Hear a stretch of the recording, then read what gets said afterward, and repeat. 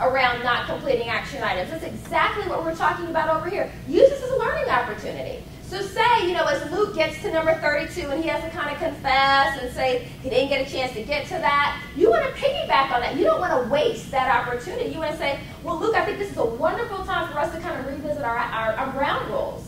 Because I know Luke's not the only one who has a crisis pump, uh, pop up every now and then. How do we want to deal with that? If you accept a task or an action item, but then something comes up that's going to prevent you from completing that, what's our agreement going to be around that? And then you just let the team talk about it, see what they want to come up with.